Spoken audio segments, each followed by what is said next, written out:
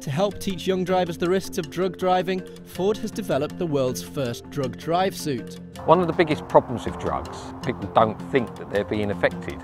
They are massively, so they're more likely to make the wrong choice just because they're not thinking straight and they're just not aware of the effect it's having on them. This is one of the goals, to have a tool that you can show and that you can experience uh, how drugs can affect your abilities to move or to drive a car.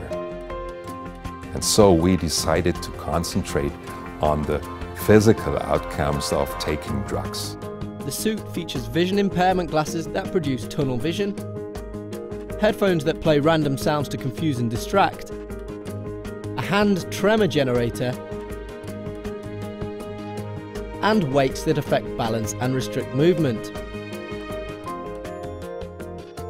Tests with the suit have shown that controlling a car, even for a professional driver, is impossible. It was uh, much more difficult than normal driving. It's totally unsafe to drive a vehicle like that.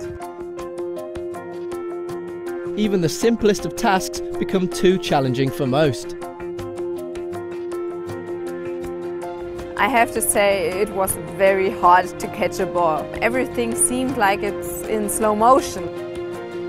The drug drive suit will be used as part of Driving Skills for Life, Ford's free young driver training programme. I think it's a brilliant idea, and I think if you put anybody in there and saying, well, this is what it actually feels like, then that can only be positive.